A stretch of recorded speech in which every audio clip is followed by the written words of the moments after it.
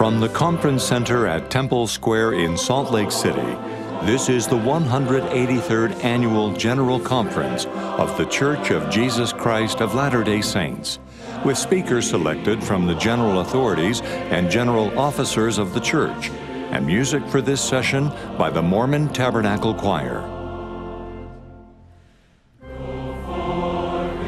This broadcast is furnished as a public service by Bonneville Distribution. Any reproduction, recording, transcription, or other use of this program without written consent is prohibited.